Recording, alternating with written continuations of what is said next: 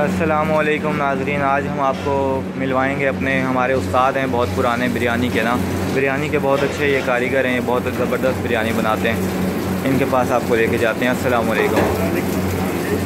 ابھی جی آپ بتائیں کہ ہمارے جو ہے نا بریانی کا یہاں پہ کتنا کام ہے، کتنی بریانی روز کی نکلتی ہے؟ اچھا کام ہے، ہمارا بریانی کا۔ بریانی نام ہی ہمارا بریانی کباب ہے۔ اسی لیے نام رکھتے ہیں، بریانی بریانی ہوتی ہے۔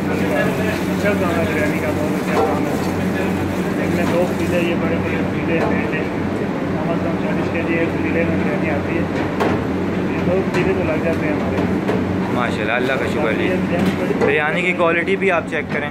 یہاں پہ یہ بھی آپ کو چیک کراتے ہیں۔ یہ دیکھیں۔ یہ ہم چاول کون سا یوز کرتے ہیں وہ بھی بتا دیں۔ چاول سپر کرنا باسمتی چاول ہے۔ سپر کرنل باسمتی چاول۔ یہ لوگ بناتے ہیں سیلے کی بناتے ہیں دوسرا دوسرا لیکن ہمارا اوریجنل چاول ہوتا ہے بریانی چاول۔ اور سپر کرنا باسمتی چاول ہے۔ اور سیلے کی بریانی میں اور باسمتی کی۔ بریانی میں کتنا فرق ہے؟ آپ یہ بتائیں۔ سیلے کا بریانی بنتا ہے سیلے کا تو بنتا بنتا ہے یہ تو بریانی ایسے لوگ بنایا ہوا ہے دوسرے لوگوں کو کھانے والوں کو۔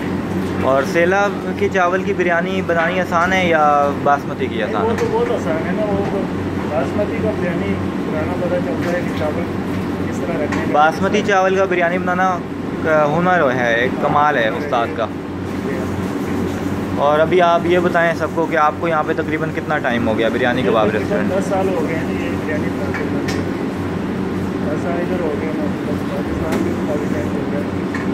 چلیں آج جتنے لوگ آپ کو دیکھ رہے ہیں ان کے لیے آپ کچھ پیغام دینا چاہیں گے کہ میں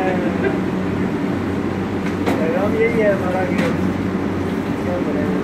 کہ آئیں بریانی کھائیں آ کے اور کون کون سی بریانی ہوتی ہے ہمارے پاس؟ بریانی ہے مٹن بریانی ہے فش بریانی ہے کباب بریانی ہے اور بریانی بھی چل جاتی ہے۔